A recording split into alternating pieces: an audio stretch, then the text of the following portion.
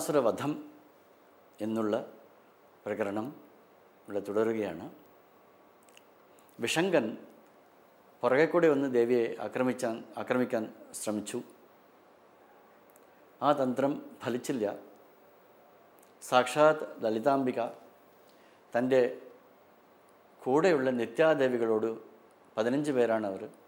പതിനഞ്ച് നിത്യാദേവികളോട് യുദ്ധത്തിന് ചെല്ലാൻ കൽപ്പിച്ചുവെന്നും അവർ ഇവരുടെ പതിനഞ്ച് അക്ഷൗഹിണി സേനകളെ നശിപ്പിച്ചു എന്നും വർണിക്കപ്പെട്ടു.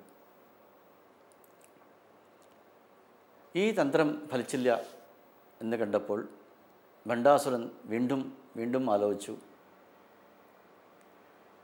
തന്റെ മക്കളായ മുപ്പത് പേരെ വിളിച്ചു. അവരുടെ പേരൊക്കെ ഇതിൽ പറയുന്നുണ്ട്.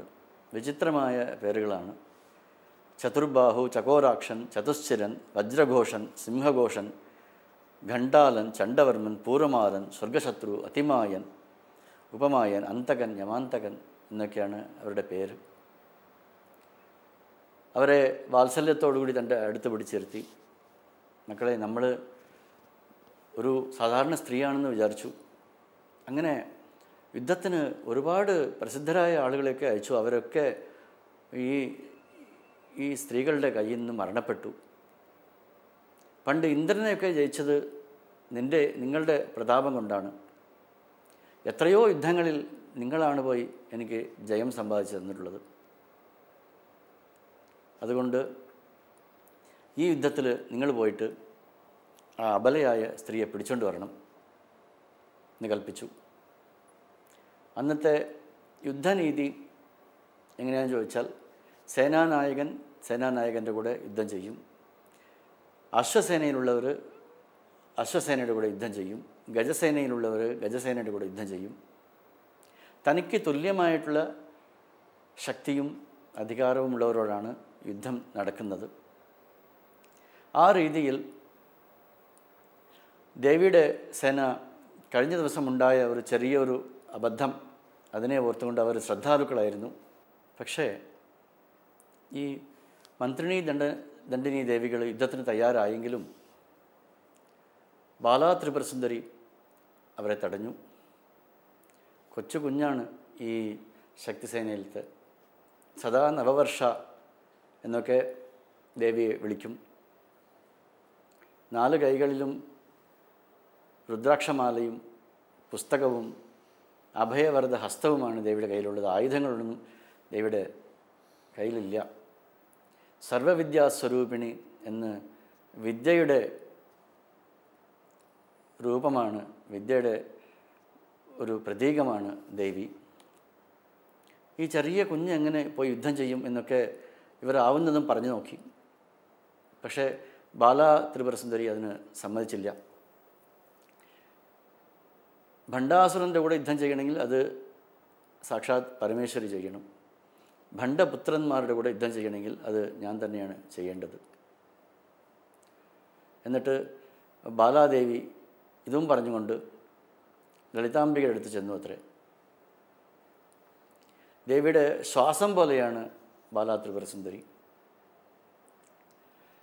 അപ്പോൾ ഞാൻ യുദ്ധത്തിന് പോവുകയാണ് എന്ന് പറഞ്ഞപ്പോൾ ലളിതാംബികയ്ക്ക് വളരെ സങ്കടമായി അത്രേ നീ ചെറിയ കുഞ്ഞല്ലേ ഞാൻ പേരിനല്ലേ ഇവിടെ വിളിച്ചുകൊണ്ട് വന്നിട്ടുള്ളൂ?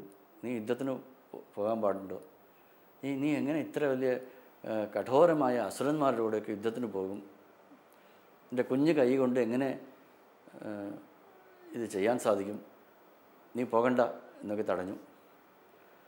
അങ്ങനെ പക്ഷേ ബാലാത്രിപുരസുന്ദരി അത് കേട്ടില്ല. ഞാൻ അവരെ വധിച്ചുകൊള്ളാം എന്ന് ദേവിയോട് സമർത്ഥനം ചെയ്തിട്ട് ദേവി യുദ്ധത്തിന് പോയി അത്രേ അങ്ങനെ അതേവരെ ബാലാത്രിപുരസുന്ദരി കയ്യിൽ ആയുധങ്ങളൊന്നുമില്ല.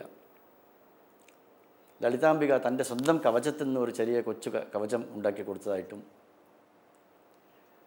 തന്റെ പുഷ്പബാണങ്ങളിൽ നിന്നും ഒരു രഥമുണ്ടാക്കി കൊടുത്തതായിട്ടും കർണീരഥം എന്നാണ് അതിന്റെ പേര്. ഹംസങ്ങളാണ് ആ രഥത്തെ വലിച്ചുകൊണ്ട് പോകുന്നത് അങ്ങനെ ബാലാ ത്രിപുരസുന്ദരി യുദ്ധത്തിന് പോയി. ആ ദേവിയുടെ മുഖഭാവം കണ്ടിട്ട് എല്ലാവരും തൊഴുത് നമസ്കരിച്ചു അത്രേ. ശക്തിസേനയിലുള്ളവരൊക്കെ നമസ്കരിച്ചു. അങ്ങനെ തന്റെ കൊച്ചു കൈകൊണ്ട് എല്ലാവരെയും അനുഗ്രഹിച്ചുകൊണ്ട് പുഞ്ചിരിയോടുകൂടിയാണ് ബാലാംബിക യുദ്ധത്തിന് പോയി. അവിടെ അതിഗംഭീരമായ യുദ്ധം ചെയ്തു. ഒരേ സമയത്ത് മുപ്പത് ഭണ്ഡപുത്രന്മാരും ദേവിയെ ആക്രമിച്ചു. ദേവി നാരായണസ്ത്രം കൊണ്ട് അവരുടെ കൂടെ വന്ന് അത്രയും സൈന്യത്തെയും ഒറ്റയടിക്ക് നശിപ്പിച്ചു. ഒരേ അസ്ത്രം കൊണ്ട് ഭണ്ഡപുത്രന്മാരെയും കൊന്നു. അങ്ങനെ എല്ലാവരും വിചാരിക്കാത്ത രീതിയിൽ തന്നെ എത്രയും എളുപ്പത്തിൽ ബാലാത്രിപുരസുന്ദരി ഭണ്ഡപുത്രന്മാരെ വധിച്ചു. അങ്ങനെ ലളിതാംബികയുടെ അടുത്ത് തിരിച്ചു വന്ന് നമസ്കരിച്ചു. ഇവിടെയാണ് ലളിതാ സഹസ്രനാമത്തിലും ബാലാംബികയുടെ രൂപം പറയണത് മറ്റു സ്ഥലങ്ങളിലൊന്നുമില്ല. ഭണ്ഡപുത്ര വധോദ്യുക്ത ബാല വിക്രമനന്ദിത എന്ന് ഉള്ള മന്ത്രത്തിൽ ഇതിനെ ഈ ഒരു ചെറിയ ചരിത്രത്തെ അവിടെ ഉണ്ടായ യുദ്ധത്തെയും അതിൽ ബാലാംബിക ജയിച്ചുവെന്നും ആ വിക്രമത്തിൽ ബാലാംബികയുടെ വിക്രമത്തിൽ പരാശക്തി വളരെ സന്തുഷ്ടയായി എന്നും ദേവിയെ തന്റെ മടിയിലിരുത്തി വാത്സല്യം ചൊരിഞ്ഞുവെന്നും അവരെ അനുഗ്രഹിച്ചുവെന്നും ബാലാംബികയുടെ ദർശനം ബാലാംബികയുടെ പ്രസ്താവന ലളിതാ സഹസ്രനാമത്തിൽ ഇങ്ങനെ കാണപ്പെടുന്നു. ശ്രീ ലളിതാ സഹസ്രനാമത്തിൽ ഭണ്ഡാസുര വധം സംബന്ധിച്ചിട്ടുള്ള വിഷയങ്ങളാണ് നമ്മൾ കേട്ടുകൊണ്ടിരിക്കുന്നത്. ഇനി വരുന്ന ദിവസങ്ങളിൽ കൂടുതൽ വിവരങ്ങൾ കേൾക്കാം.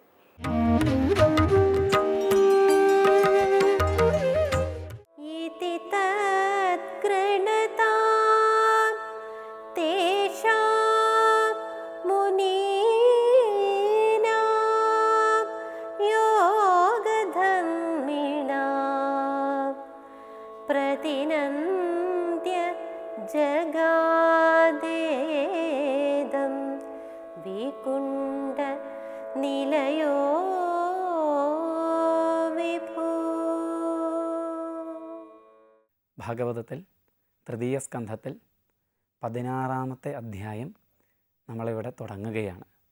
ഒന്നാമത്തെ ശ്ലോകമാണ് നമ്മളിന്ന് ചിന്തിക്കുന്നത്. ഇവിടെ നേരത്തെ സനകാദി മഹർഷിമാർക്ക് മുന്നിൽ ഭഗവാൻ പ്രത്യക്ഷപ്പെട്ടത് ആ പ്രത്യക്ഷപ്പെട്ട ഭഗവാനെ സനകാദി മഹർഷിമാർ സ്തുതിച്ചതൊക്കെ നമ്മൾ കേട്ടു. അപ്പം അവരുടെ അതിഗംഭീരമായ വേദാന്ത തത്വങ്ങൾ അന്തർഭവിച്ചിട്ടുള്ളതും അതേപോലെ ഭക്തിയുടെ സൗന്ദര്യം ചേർന്ന് നിൽക്കുന്നതുമായ ആ സ്തുതിയെ കേട്ട് അവരിൽ സംപ്രീതനായിക്കൊണ്ട് ഭഗവാൻ ദാ അവരോട് സംസാരിച്ചു തുടങ്ങിയെന്നാണ് ഭഗവാന്റെ വാക്കുകളാണ് ഈ ശ്ലോകത്തിൽ ഇനിയിപ്പം നമ്മൾ കേൾക്കാൻ പോകുന്നത്. ഇവിടെ ശ്രീ ശിവബ്രഹ്മർഷി പറഞ്ഞു. ശ്രീ ശിവബ്രഹ്മർഷി പറഞ്ഞു എന്ന് പറയുമ്പോൾ ശ്രീ ശിവബ്രഹ്മർഷിയാണ് ഭാഗവതം പരീക്ഷത്തിന് പറഞ്ഞു കൊടുക്കുന്നത്. അതിന്റെ ഇടയ്ക്ക് പല സംവാദങ്ങൾ വന്നു കയറിയെന്നേ ഉള്ളൂ. ഇവിടെ ഇപ്പം ബ്രഹ്മാവ് ദേവേന്ദ്രന് പറഞ്ഞു കൊടുക്കുകയാണ്. കാരണത്തെ നമ്മൾ ചിന്തിക്കേണ്ടതാ. ആ ദിതിദേവിയുടെ ഗർഭത്തിലുള്ള ഈ ഹിരണ്യാക്ഷനും ഹിരണ്യകശിപും ഗർഭത്തിൽ നിന്ന് പുറമേക്ക് വരുന്നതിന് മുന്നേ തന്നെ ലോകത്തെ ചൂട് പിടിപ്പിച്ചു തുടങ്ങി. അപ്പോൾ ഈ ദേവേന്ദ്രനും ദേവന്മാർക്ക് അവരുടെ ഇരിപ്പിടത്തിൽ ഇരിക്കാൻ പറ്റാതെ വന്നപ്പം ബ്രഹ്മാവിന്റെ അരികെ ചെന്നിട്ട് അവർ ആരാ ഈ ദിതിദേവിയുടെ ഗർഭത്തിൽ? എന്താണ് അവസ്ഥ എന്നുള്ളത് ബ്രഹ്മാവിനോട് പറഞ്ഞു തരാൻ ആവശ്യപ്പെടുക. അപ്പോഴാണ് ബ്രഹ്മാവ് ഈ കഥകളൊക്കെ പറഞ്ഞു കൊടുക്കുന്നത്. അപ്പം കഥ പറഞ്ഞു കൊടുക്കുന്ന ദേവേന്ദ്രന് ഇത് പറഞ്ഞു കൊടുക്കുന്ന ബ്രഹ്മാവ് ഇതാ വീണ്ടും പറഞ്ഞു തുടങ്ങി. ബ്രഹ്മോവാച എന്ന് പറഞ്ഞാൽ തുടങ്ങുക. എന്താ പറഞ്ഞു തുടങ്ങിയത്? ഇതിതൽ ഗണതാം മുനീനാം യോഗധർമ്മിണാം പ്രതിനന്ദ്യ ജഗാതേതം വിഗുണ്ഠനിലയോ വിഭു. വിഗുണ്ഠനിലയനായ വിഭു. വൈകുണ്ഠനിലയനായ വിഭു. വൈകുണ്ഠത്തിൽ നിലകൊള്ളുന്ന ഭഗവാൻ. ഇവിടെ നമ്മളൊന്ന് ചിന്തിക്കേണ്ടതുണ്ട്. ഈ വൈകുണ്ഠം എന്നൊക്കെ പറയുമ്പോൾ പൊതുവേ നമ്മുടെയൊക്കെ ഒരു ധാരണ ഈ ഭൂമി പോലെ ഭൂമി പോലെയല്ല ഭൂമിയേക്കാൾ മനോഹരമായ എന്നാൽ ഭൂമിയെ പോലെ തന്നെ ഒരു ലോകം വേറെ ഈ ഭൂമിയിൽ നിന്നും അന്യമായിട്ട്. അങ്ങനെ ഒരു ധാരണ ചിലരിലെങ്കിലും ഉണ്ടാവും. ഇവിടെ വ്യക്തമായിട്ട് നമ്മൾ മനസ്സിലാക്കേണ്ടതാ പുരാണങ്ങൾ ലോകം എന്നതുകൊണ്ട് ഉദ്ദേശിക്കുന്നത്. ശങ്കരാചാര്യ സ്വാമികൾ വ്യക്തമായിട്ട് പറയും ലോക്യതേ ഭുഞ്ചിയതേ ദൃശ്യതേ അനേന ഇതി ലോക. നിങ്ങൾ കാണുന്നത് നിങ്ങൾ കേൾക്കുന്നത് നിങ്ങൾ അനുഭവിക്കുന്നതാണ് നിങ്ങളുടെ ലോകം. അപ്പോൾ അനുഭവതലമാണ് ലോകം എന്ന് വെച്ചാൽ. അവിടെ വൈകുണ്ഠം എന്ന് വെച്ചാൽ ഈ ഭൂമിക്ക് മുകളിലൊരു വേറൊരു പ്രദേശം എന്ന അർത്ഥത്തിലല്ല. കുണ്ഠതകൾ തീർത്തും വിട്ടൊഴിഞ്ഞ മാനസിക തലമാണ് അനുഭവതലമാണ് വൈകുണ്ഠം. ഈ കുണ്ഠതകൾ എങ്ങനെയാണ് ഉണ്ടാവുക? കുണ്ഠതകൾ എന്ന് വെച്ചാൽ കാലുഷ്യങ്ങൾ എന്നർത്ഥം അസ്വസ്ഥതകൾ എന്നർത്ഥം എല്ലാ അസ്വസ്ഥതകളും ഉണ്ടാവുന്നത് മനസ്സിലുള്ള രജോ ഗുണത്തിന്റെയും തമോ ഗുണത്തിന്റെയും സാന്നിധ്യം കൊണ്ടാണ്. ഈ രജോ ഗുണം തമോ ഗുണം തീർത്തും ഇല്ലാതെയാകുമ്പോൾ കുണ്ഠതകളൊക്കെ അസ്തമിക്കും. എല്ലാ കുണ്ഠതകളും ഇല്ലാതെയാവും. മനസ്സ് തീർത്തും ശുദ്ധമാവും. അവിടെ ശുദ്ധമായ സത്വ ഗുണം മാത്രം പ്രകാശിക്കും. അങ്ങനെ ശുദ്ധമായ സത്വഗുണം മാത്രം പ്രകാശിച്ചുകൊണ്ടുള്ള മനസ്സിന്റെ അവസ്ഥയ്ക്ക് തന്നെയാണ് വൈകുണ്ഠം എന്ന് പറയുക. ആ വൈകുണ്ഠത്തിൽ വസിക്കുന്നയാളാ ഭഗവാൻ. അവിടെ ഭഗവാൻ സഗുണസ്വരൂപിയായിട്ടാണ് വസിക്കുക. എന്നുവെച്ചാൽ ഈ ശുദ്ധമായ സത്വസ്വരൂപം പ്രകാശിക്കുമ്പോൾ അപ്പോഴും മനസ്സിന്റെ തലത്തിൽ തന്നെയാണ് ധ്യാനിക്കാൻ ഒരു രൂപം ആവശ്യമാണ്. സത്വഗുണവും ഇല്ലാതെയാകുമ്പോഴേ നിർഗുണമായ തത്വത്തെ അനുഭവിക്കാനാകുള്ളൂ. ഇപ്പോഴും മനസ്സുണ്ട്. ബന്ധനം സ്വർണത്തിന്റെതാണെന്ന് മാത്രം. എന്നാൽ ഈ സത്വഗുണം പ്രകാശിച്ചുകൊണ്ടുള്ള മാനസികാവസ്ഥയിൽ ഭഗവാന്റെ മനോഹരമായ സ്വരൂപം നിത്യമായി ഉള്ളിൽ പ്രകാശിക്കും നിരന്തരമായി ഉള്ളിൽ പ്രകാശിക്കും. അതാണ് വൈകുണ്ഠത്തിൽ ഭഗവാൻ മനോഹരമായ സ്വരൂപത്തെ എടുത്ത് നിലകൊള്ളുന്നു എന്ന് പറയുന്നത്. അതിന്റെ താത്വികമായ തലം ഇതാണ്. അപ്പം ആ വൈകുണ്ഠ നിലയനായ വിഭുവായ ഭഗവാൻ ഭഗവാൻ വിഭുവാണ് സർവജ്ഞനാണ്. ആ വിഭുവായ ഭഗവാൻ സനകാദി മഹർഷിമാരുടെ സ്തുതി കേട്ട് എങ്ങനെയുള്ള സനകാദി മഹർഷിമാരുടെ യോഗധർമ്മിണാം മുനീനാം? യോഗധർമ്മികളും മുനികളും ആയ സനകാദി മഹർഷിമാർ. നമ്മൾ നേരത്തെ പറഞ്ഞു നിവൃത്തി ധർമ്മത്തെ ലോകത്തിൽ പ്രചരിപ്പിക്കാൻ നിയുക്തരായിട്ടുള്ള മഹായോഗികളാണ് സനകാദി മഹർഷിമാർ യോഗം എന്ന് പറഞ്ഞ ജീവബ്രഹ്മേശ് ജീവ ഈശ്വര ഐക്യത്തിലേക്ക് സാ ഏവരെയും എത്തിക്കുന്ന മാർഗത്തെ ഉപദേശിച്ച് സഞ്ചരിക്കുന്നവരാണ് അതുകൊണ്ട് യോഗധർമ്മികളാണ്. മുനീനാം മുനികളാണ്. ആരാ മുനി? സ്വതവേ നമ്മൾ മുനി എന്നൊക്കെ കേൾക്കുമ്പം താടിയൊക്കെ നീട്ടി വളർത്തി അങ്ങനെയൊക്കെ ഒരു ചിത്രം നമുക്ക് മനസ്സിൽ വരിക. അങ്ങനെയൊന്നുമില്ല. മൗനം ശീലമായിട്ടുള്ള ആൾ ആരാണോ അയാളാണ് മുനി. ഈ മൗനം എന്ന് വെച്ചാൽ മിണ്ടാതിരിക്കുക എന്ന് മാത്രമല്ല കേട്ടോ അർത്ഥം. ഇന്ദ്രിയങ്ങൾക്ക് എല്ലാ ഇന്ദ്രിയങ്ങൾക്കും മുകളിലുള്ള സംയമനത്തിനാണ് മൗനം എന്ന് പറയുക. അപ്പോൾ ഇന്ദ്രിയ സംയമനം തീർത്തും സാധിച്ചാൽ അയാൾ ആ തീർത്തും സാധിച്ച അവസ്ഥ മൗനം. ഈ മൗനം ആർക്കുണ്ടോ? അയാൾ മുനി. ഇനി തിരിച്ചു പറയുകയാണെങ്കിൽ മുനിയുടെ ശീലം എന്താണോ അത് മൗനം. അപ്പോൾ ഇവർ മുനികളാണ്. യോഗധർമ്മികളും മുനികളും ആയ സനകാദി മഹർഷിമാരുടെ സ്തുതി കേട്ട് പ്രതിനന്ദിയ. ആയതിനെ പ്രതിനന്ദിച്ചിട്ട് ആയതിനെ അനുമോദിച്ചുകൊണ്ട് ഇതം ജഗാധ ഭഗവാൻ ഇപ്രകാരം പറഞ്ഞു തുടങ്ങിയെന്നാണ് അപ്പോൾ ഭഗവാൻ എന്താ പറഞ്ഞതെന്ന് നമുക്ക് നാളെ മുതൽക്കുള്ള ശ്ലോകങ്ങളിൽ കേൾക്കാം.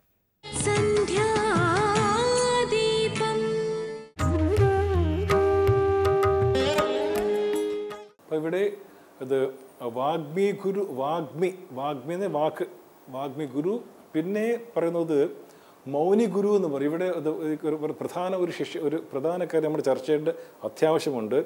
ഈ മൗനി ഒന്ന് ഗുരു ഗുരുവിന്റെ ഭാവം സ്വീകരിച്ചിട്ട് ലോകത്തിന് ഇത് ഉപദേശം നൽകുന്ന വ്യക്തിക്ക് ആണ് വാഗ്മി വാക്ക് എന്ന വാഗ്മി ഗുരു എന്ന് പറയുക പിന്നെ മറ്റു പിന്നെ ഒരു ഗുരു ചിലപ്പോൾ ഒരു ഇതൊരു ഇത് മൗനി ഗുരു എന്ന് പറയും. ഗൗ- മൗനി ഗുരു എന്ന് പറഞ്ഞാൽ തനിക്കും സാധിക്കും.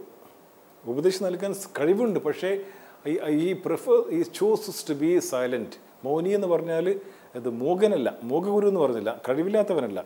തനിക്ക് തനിക്ക് സാധിക്കും പക്ഷേ ആ ഈശ്വര സങ്കൽ ഈശ്വര ഇച്ഛ ഈശ്വര സങ്കല്പം കൊണ്ട് താൻ ആരെയും പിന്നെ മിണ്ടാതിരിക്കും. അവിടെ ആരോടൊന്നും പറയില്ല. അതാണ് അവധൂതന്മാർ അവധൂതന്മാർ പരി ഇത് സാധാരണ മിണ്ടാതിരിക്കുകയുള്ളൂ. പക്ഷെ അവർക്കും അവർ കഴിവില്ല എന്നല്ല. അവർക്കും അവധൂതന്മാർക്കും നമ്മളെ ഉണർ നമുക്ക് ജ്ഞാനം നൽകിയിട്ട് നമ്മൾ ഉയർത്താൻ സാധിക്കും. ചില അവധൂതന്മാർ ഇത് പിന്നെ അവർക്ക് സാധിക്കും അവർക്ക്. പക്ഷെ അവർ the prefer to be quiet അതാണ് മൗനി ഗുരു എന്ന് പറയാം. സാധാരണ സാധാരണയായിട്ട് ഇവിടെ നല്ലൊരു ശ്ലോകമുണ്ട്. ഇത് നേരത്തെ പറഞ്ഞ പോലെ ഗുരു ആ വ്യക്തി ഇത് ശിഷ്യൻ ഒരു ഭക്തന്റെ ഭക്തന് അർഹതയുണ്ടോ എന്ന് പരീക്ഷിച്ച് മാത്രമേ ഞാൻ ഇത് നൽകി നൽകുകയുള്ളൂ. സാധാരണ സാധാരണ പറയാനുള്ള ഒരു കാര്യം ഇത്തരം ഇതാണ്. നാ പ്രച്ഛത കസിചിത് ബ്രൂയാത്ത് നച്ച അന്യായന പ്രച്ഛത ജാനന്നപി സമേധാവി ജഡവത്ത് ലോക ആചരേത് എന്നാണ്. ഇതൊരു നരു- നന്നൊരു ശ്ലോകമാണിത്. ന നാ പ്രച്ഛത കസി കസിത് ബ്രൂയ നാ പ്രച്ഛത കസിചിത് ബ്രൂയാത്ത് അതായത് ചോദിക്കാതെ പറയരുത്. ന നാ പ്രച്ഛത കസിച്ചിത് ബ്രൂയാത്ത് ചോദിക്കാതെ ആരും ഒന്ന് ഉപദേശിക്കരുത്. ഉപദേശം നൽകാതെ എങ്ങനെയാലും ഇങ്ങോട്ട് വരൂ. ഞാനൊരു വലിയ കാര്യം പറയാൻ പോയതാ അത് ഇത് ആത്മാവാണ്. നിങ്ങളെല്ലാം ആത്മാവാണ്. അങ്ങനെ ഒരിക്കലും പറയാൻ പാടില്ല. ചോദിച്ചതല്ലാതെ ചോദിച്ചാൽ മാത്രമേ ഇത് കാര്യം പറയാൻ പാടുള്ളൂ. അതിന്റെ കാരണം ഇത്ര മാത്രമേ ഉള്ളൂ. ഇത് എന്ത് രഹസ്യം എന്നൊക്കെ പറയുന്നത് നമ്മൾ പറഞ്ഞാൽ മനസ്സിലാത്തതുകൊണ്ടാണ് അത്. രഹസ്യം എന്ന് പറഞ്ഞാൽ നമ്മൾ ആരും ആർക്കും പറഞ്ഞു പറഞ്ഞു കൊടുക്കാൻ പാടില്ല എന്നല്ല. പറഞ്ഞോട് പറഞ്ഞാലും മനസ്സിലാകാത്തതുമാണ് രഹസ്യം എന്ന് പറയാനുള്ള കാരണം. അപ്പോൾ നാ പ്രച്ഛത കസജിത് ബ്രൂയാത്ത് ചോദിക്കാതെ പറഞ്ഞു കൊടുക്കരുത്. രണ്ടാമതായിട്ട്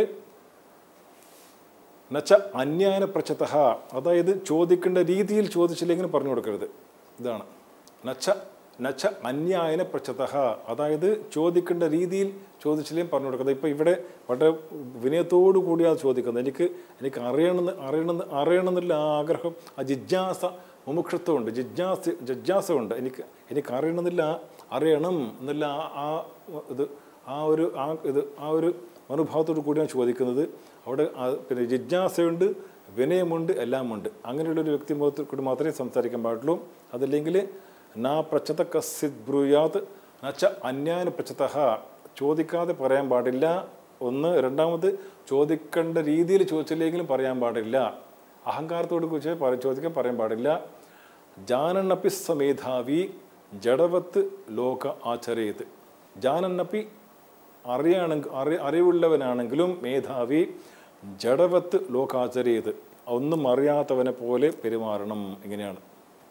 അത് നമ്മൾ ഒരു ഒരു വ്യക്തിയെ ഒരു ഒരു ഒരു ഒരു മഹാത്മാവിനെ പരീക്ഷിക്കാൻ പോയി കഴിഞ്ഞാൽ നഷ്ടം നമ്മൾക്ക് മാത്രമാണ്. ഒരു ഒരു മഹാത്മാവിനും തന്റെ ദിവ്യത്വം ഞാൻ ദിവ്യത്വം അല്ലെങ്കിൽ അത് മഹത്വം അത് തെളിയിക്കാൻ ഒരു മഹാത്മാവിനും ആഗ്രഹമില്ല. മിണ്ടാതിരിക്കുകയുള്ളൂ നമ്മൾ പരീക്ഷിക്കാൻ പോയി കഴിഞ്ഞാൽ നമ്മൾ പോ എപ്പോഴും മഹാത്മാവിനെ സമീപിക്കുമ്പോൾ വിനയത്തോടു കൂടിയും വിനയത്തോടു കൂടിയും എനിക്ക് അറിയണമെന്നുള്ള ആഗ്രഹത്തോടു കൂടി പോയാൽ മാത്രം നമുക്ക് പ്രയോജനം ഉണ്ടാവും. നമ്മളവരെ പരീക്ഷിക്കാൻ പോയി കഴിഞ്ഞാൽ നഷ്ടം നമ്മൾക്കാണ്.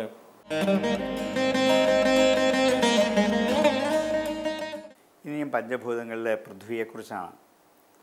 അഗ്നിയായി ജലമായി വായുവായി.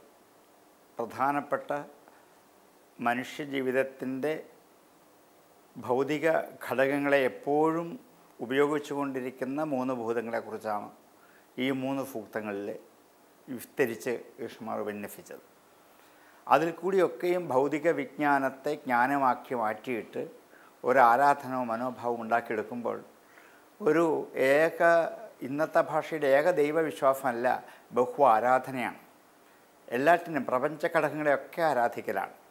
അതുകൊണ്ടാണ് അതെല്ലാം ദേവതകളായി പരിണമിക്കുന്ന അർത്ഥം. അതുകൊണ്ടാണ് മുപ്പത്തിമൂന്ന് കോടി ദേവത അതിൽ കൂടുതലും ദേവതകൾ ഈ പ്രപഞ്ചത്തിലുണ്ട്. ഈ പ്രപഞ്ചത്തിൽ കാണുന്ന വിഭൂതികളെയൊക്കെ ദേവതകളാണ്. അതുകൊണ്ട് ആദ്യം തുടങ്ങുന്നത് പ്രപഞ്ച വിഭൂതികളെക്കുറിച്ചുള്ള അന്വേഷണമാണ്. അതിന്റെ സത്യം കണ്ടെത്തലാണെന്ന് പറഞ്ഞു തുടങ്ങിയതുകൊണ്ട് തന്നെയാണ്. ഈ വിഭൂതികളിൽ കൂടി കാണപ്പെടുന്ന ഒരു ഐശ്വരമായ ശക്തിയുടെ തേജസ്സിനെ. യദ്യത് വിഭൂതിമത് സത്വം ശ്രീമത് ഊർജിതമേവ. എവിടെയൊക്കെയാണോ ഊർജിതമായ വിഭൂതിയുടെ ഐശ്വര്യം വിളയാടുന്ന അതിനെയൊക്കെ ദേവനായിട്ട് ദേവതയായിട്ട് ആരാധിക്കുന്ന ഒരു മനോഭാവമാണ് ഭാരതീയ എന്താ വേദസംഹിതയിൽ നിന്ന് നമ്മൾ സ്വീകരിച്ചത്. ഇനിയുള്ള പൃഥ്വിയാണ്. പൃഥ്വിയെക്കുറിച്ച് ആദ്യം തന്നെ സ്തുതിച്ച് പറയുന്നത് ഫ്യോന പൃഥ്വീ ഭവ. വെച്ചാൽ വിസ്തീർണമുള്ളതാണ്. പൃഥ്വി വളരെ വിസ്തീർണമാണ്. എല്ലായിടത്തും നിറഞ്ഞ് വ്യാപരിച്ചു നിൽക്കുന്നതാണ് എന്നുള്ള പൃഥ്വിയുടെ ആ ഒരു എന്താ വിസ്തീർണ സ്വരൂപത്തെക്കുറിച്ചാണ് ആദ്യം പറയുന്നത്. പിന്നെ നൃക്ഷര നിവീഷിനി. ഒരു മുള്ളില്ലാത്ത നൃക്ഷരം മുള്ളുകളില്ലാത്ത കണ്ടകമില്ലാത്ത മനുഷ്യന്റെ നിവേശ സ്ഥാനമാണ്. മനുഷ്യർക്ക് കിടന്നുറങ്ങാൻ പറ്റിയതാണ് ഈ പൃഥ്വി അല്ലെങ്കിൽ ഭൂമണ്ഡലം. ഈ പൃഥ്വിയിൽ മുള്ളുകളില്ലാതെ മനുഷ്യന് സ്വച്ഛമായി സ്വതന്ത്രമായി ഉറങ്ങാൻ പറ്റുന്ന ഒരു കേന്ദ്രം. ഈ ഒരു സങ്കല്പത്തിലാണ് ഭൂമിയെക്കുറിച്ച് പൃഥ്വിയെക്കുറിച്ച് ആദ്യം പറയുന്നത്. അപ്പം മനുഷ്യന്റെ ആവാസസ്ഥാനമാണ്. മനുഷ്യന് കിടന്നുറങ്ങാൻ പറ്റിയതാണ് ഈ പൃഥ്വി. മനുഷ്യനല്ല മൃഗങ്ങൾക്കും ജീവജാലങ്ങൾക്കും എല്ലാം സ്വതന്ത്രമായി വിഹരിക്കാൻ ഒരു അപകടമില്ലാത്ത മുള്ളുകളില്ലാത്ത കളങ്കമില്ലാത്ത അതിമനോഹരമായ ഒരു വിശ്വത്തെക്കുറിച്ചുള്ള സങ്കല്പമാണ്. വിശ്വം ദധ്മ വിശ്വത്തെ മുഴുവൻ നിങ്ങളുടെ ആത്മസ്വരൂപം കൊണ്ട് ധരിക്കപ്പെടുന്നു എന്നർത്ഥം. അപ്പോൾ ഈ പൃഥ്വിക്ക് ഈ കാണപ്പെടുന്ന ഭൗതികതയല്ലാതെ അതിന്റെ ഉള്ളൊരു ആത്മസത്തയുണ്ട്. ഈ ആത്മസത്തയാണ് പൃഥ്വി അല്ലെങ്കിൽ ഭൂദേവിയായി പൃഥ്വി ദേവിയായി ഭൂദേവതയായി നമ്മൾ ആരാധിച്ചുകൊണ്ടേയിരിക്കുന്നത്. ഇനിയും ചക്രിയായിവ വിവർത്തത്തെ. ചക്രം പോലെ നിങ്ങൾ കറങ്ങിക്കൊണ്ടേയിരിക്കുന്നുവെന്ന് ഭൂമിയുടെ കറക്കത്തെക്കുറിച്ചാണ് അടുത്തൊരു മന്ത്രത്തിൽ സൂചിപ്പിക്കുന്നത്. അപ്പോൾ ഭൂമി സ്വന്തം അച്ചുതണ്ടിൽ കറങ്ങുന്നുവെന്നും ചക്രമാണ് ആകൃതിയെന്നും എത്രയോ കാലം മുമ്പ് നമ്മുടെ ഋഷിമാർ കണ്ടറിഞ്ഞ് രേഖപ്പെടുത്തി വെച്ച കാര്യമാണ്. നിങ്ങൾ ചക്രിയായവ ഒരു ചക്രത്തെ പോലെ വിവർത്തതെ അനുസ്യൂതം കറങ്ങിക്കൊണ്ടേയിരിക്കുന്നു വിവർത്തനം ചെയ്തുകൊണ്ടേയിരിക്കുന്ന നിങ്ങൾ രത്നഖനിയാണ് ഭൂമി. എന്നുവെച്ചാൽ സമസ്ത രത്നവും ധനവും ഈ ഭൂമിയിൽ നിന്നാണ് വിളഞ്ഞു വരുന്നത്. അതുകൊണ്ടാണ് രത്നഖനിയാണ് ഭൂമി. ഈ ഭൂമിയിൽ നിന്ന് നമ്മൾ ഉണ്ടാക്കിയെടുക്കുന്ന സമ്പത്തുകളിൽ എണ്ണ സസ്യങ്ങൾ അതുപോലെ നമുക്ക് ആവശ്യമായ രത്നങ്ങൾ ഇതെല്ലാം ഭൂമിയിൽ നിന്നാണ് എടുക്കുന്നത്. അതുകൊണ്ട് ഭൂമിക്ക് വസുമതി എന്നും ഭൂമിക്ക് പേരുണ്ട്. ധാരാളം സമ്പത്ത് ഇവിടെ മനുഷ്യർക്ക് കഴിഞ്ഞുകൂടാനുള്ള എല്ലാ വിഭവങ്ങളും സമ്പത്തും ഭൂമിയിൽ തന്നെ നമുക്ക് കിട്ടും. അതുകൊണ്ടാണ് ഭൂമി നമുക്ക് ഒരാധാരമാണ് നമുക്കൊരു ദേവതയാണ്. നമുക്ക് ജീവിക്കാൻ വേണ്ട എല്ലാവിധ വിഭവങ്ങളും സമ്പത്തുകളും ഈ ഭൂമിയിൽ നിന്നും അനുഭവം നമുക്ക് തന്നുകൊണ്ടേയിരിക്കും. അതുകൊണ്ട് തന്നെ പിത മാതാച രക്ഷതാമവോഭി പിതാവും മാതാവുമാണ്. ദ്യോ പിതാവാണ് ഭൂമി മാതാവാണ്. മുകളിൽ നിന്നുകൊണ്ട് ദ്യോവ് പിതൃസ്ഥാനത്തും താഴെ നിന്നുകൊണ്ട് ഭൂമി അമ്മയുടെ സ്ഥാനത്തുമാണ്. ഈ രണ്ട് മാതാപിതാക്കളുടെ സംരക്ഷണയിലാണ് മനുഷ്യർ ഈ പ്രപഞ്ചത്തിൽ വസിക്കുന്ന മുഴുവൻ. അതുകൊണ്ട് ഈ താഴെ കാണുന്ന ഭൂമണ്ഡലത്തെ അമ്മ എന്നുള്ള മട്ടിൽ ഭൂദേവി ആക്കി ഭൂമി ദേവിയാക്കി മാതൃഭാവേനെയാണ് ഭൂമി ആരാധിക്കുന്നത്. മുകളിൽ കാണപ്പെടുന്ന ദ്യോവ് പിതൃസ്ഥാനമാണ് അത് പിതാവാണ്. അതുകൊണ്ട് നമ്മൾ ഭൂമിയെ മാത്രം ഭൂമി ദേവി എന്നാണ് വിളിക്കുന്നത്. ബാക്കിയെല്ലാം ദേവന്മാരാണ്. ഈ ദേവി വരാൻ കാരണം മാതൃസ്ഥാനമാണ് ഭൂമിക്ക്. കാരണം താഴെ നിന്നുകൊണ്ട് അമ്മയെപ്പോലെ നമ്മെ സൃഷ്ടിച്ച് നമ്മെ രക്ഷിച്ച് എപ്പോഴും പരിപാലിച്ചു കൊണ്ട് നിൽക്കുന്ന ഏറ്റവും വലിയൊരു ഭൂതധാത്രിയാണ് ഈ ഭൂമി നമ്മളെ സംബന്ധിച്ച്. അത്ര മനോഹരമായി ഭൂമിയെക്കുറിച്ച് പറയാൻ പറ്റുന്ന തന്നെയുമല്ല മഴവെള്ളത്തെ താങ്ങി നിർത്താൻ പറ്റുന്ന ഏറ്റവും വലിയ ശക്തി സ്രോതസ്സാണ് ഭൂമി. മഴവെള്ളം നഷ്ടപ്പെട്ടു പോവാതെ നമ്മളുടെ നിത്യോപയോഗത്തിന് വേണ്ടി നോക്കുള്ളൂ ഞാൻ മുമ്പ് വർണസൂക്തം പറഞ്ഞപ്പോഴും പറഞ്ഞു ഏറ്റവും നല്ല ജലസ്രോതസ് മഴവെള്ളമാണെന്ന് പറഞ്ഞു. ആ മഴവെള്ളത്തെ ഇവിടെ താങ്ങി നിർത്തി നമ്മൾക്ക് നിത്യോപയോഗത്തിന് ഉപയോഗയോഗ്യമാക്കി മാറ്റാൻ ഭൂമിയാണ് സഹായിക്കുന്നത്. അതുകൊണ്ടാണ് അമ്മയെപ്പോലെ നമുക്ക് നിന്ന് ഈ ഭൂമിയിലെ ജലത്തെ ഉപയോഗയോഗ്യമാക്കി തീർക്കാൻ നമ്മെ എപ്പോഴും സഹായിച്ചു കൊണ്ടേയിരിക്കുന്നത് ഈ ഭൂമിയാണ്. തന്നെയുമല്ല സൂര്യനെ ഉദയാസ്തമയങ്ങൾക്ക് വിധേയമാക്കുന്നതും ഭൂമിയാണ്. ഇതൊരു പുതിയ കണ്ടുപിടുത്തമല്ല എന്നുള്ളതാണ് സത്യം. സൂര്യൻ എന്താണ്? അനങ്ങുന്നില്ല. ഭൂമിയാണ് കറങ്ങിക്കൊണ്ടിരിക്കുന്നത്. അതുകൊണ്ട് ഉദയാസ്തമയങ്ങൾ ഉണ്ടാകുന്നതാണ് എന്ന് നമ്മുടെ വേദത്തിൽ എത്ര മനോഹരമായി അന്ന് തന്നെ വരികളിൽ കൂടി തന്നെ പറഞ്ഞു കഴിഞ്ഞാണ്. ഉദയാസ്തമയങ്ങൾക്ക് ഭൂമിയങ്ങൾക്ക് സൂര്യനെ വിധേയമാക്കുന്ന ഭൂമിയാണ്. അപ്പോൾ സൂര്യനുള്ളത്ത് നിൽക്കുന്നേ ഉള്ളൂ. ആ സൂര്യനെ ഉദിക്കാനും അസ്തമിക്കാനും കാരണഭൂതമായ വസ്തുവാക്കി മാറ്റുന്നത് ഈ ഭൂമിയാണ്. അയ്യോ ഈ ഭൂമിയുടെ ചക്രീയമായ അവസ്ഥ എപ്പോഴും സഞ്ചരിച്ചുകൊണ്ടിരിക്കുന്ന അവസ്ഥയാണ് ഈ ഭൂമണ്ഡലത്തിൽ രാവും പകലും ഉണ്ടാക്കി ഉദയാസ്തമയങ്ങൾക്ക് സൂര്യനെ പ്രാപ്തനാക്കി മാറ്റുന്നത്. തല്ല സർവ മംഗളകാരിയാണ് ഈ ഭൂമി. സർവം സഹയാണ്. മനുഷ്യരെന്നല്ല ഇവിടെ ആരും ചെയ്യുന്ന എല്ലാവിധ കർമ്മങ്ങളെയും എപ്പോഴും ക്ഷമിച്ചും ഫഹിച്ചും ക്ഷമിച്ചും ഫഹിച്ചും പകരം വീട്ടാതെ എന്താ പ്രത്യുപകാരം ചെയ്ത് മനുഷ്യരാശികളെയും ഭൂമണ്ഡലത്തിലുള്ള മൃഗരാശികളെയും സസ്യങ്ങളെയും എല്ലാം അനുദിനം പരിപോഷിപ്പിച്ച് ഒരു പരാതിയില്ലാതെ സങ്കടമില്ലാതെ നമ്മെ പരിപാലിക്കുന്ന ഈ ഭൂതധാത്രിയായ അമ്മയായ ഭൂമിയെ ഭൂമി ദേവിയായി സങ്കല്പിക്കുന്നുണ്ട്. ഇത് നമ്മളെ പിന്നീട് വരുന്ന പുരാണങ്ങളിലൊക്കെയും ഭൂമി പശുവിന്റെ രൂപം സ്വീകരിച്ച് മഹാവിഷ്ണുവിനോട് ഈ ഭൂഭാരം സഹിക്കാനാവാ ആവില്ല എന്ന് അഭ്യർത്ഥിക്കുന്ന സന്ദർഭത്തിലും ഈ ഭൂമിയുടെ ഏറ്റവും വലിയ സർവം സഹയുടെ മഹാത്മ്യത്തെക്കുറിച്ച് ക്ഷമാശീലം പഠിപ്പിക്കുന്ന ഗുരുവാണ് ഭൂമിയെന്ന് ഭാഗവതം പല പ്രാവശ്യം ഭൂമിയെക്കുറിച്ച് പറയുമ്പോൾ പറയാറുണ്ട്. അങ്ങനെ ഏതൊക്കെ തരത്തിൽ നോക്കിയാലും ഈ പൃഥ്വി നമ്മൾക്കെപ്പോഴും അമ്മയെപ്പോലെ നമുക്കെപ്പോഴും പ്രാപിക്കാൻ പറ്റുന്നതാണ് നമ്മുടെ സങ്കടങ്ങൾ അറിയിക്കാൻ പറ്റുന്നതാണ് നമ്മുടെ ജീവനത്തിന് ഉപയുക്തമായ എല്ലാം തന്നെ പരിപോഷിപ്പിക്കുന്ന ഈ എന്താ ഈ പൃഥ്വി നമുക്ക് ദേവതയാക്കി മാറ്റുന്നു വൈദിക ഋഷിമാർ സന്ധ്യാദീപം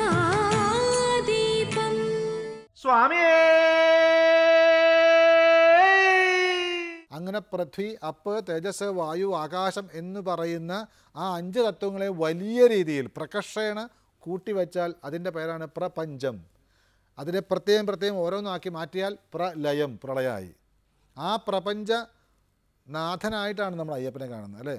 ഭൂതാദിനാഥനെയും തൊഴാറുണ്ട്. ശരണം വിളിക്കാറുണ്ട് നമ്മൾ.